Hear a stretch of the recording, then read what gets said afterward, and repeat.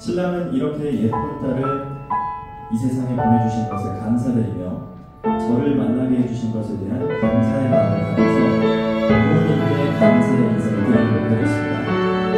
신부는 부모님의 고사를 통해 진심으로 감사드리며 그 돈을 모두 갚을 수는 없지만 앞으로 고사를 행복한 결혼 생활을 하면서 부모님께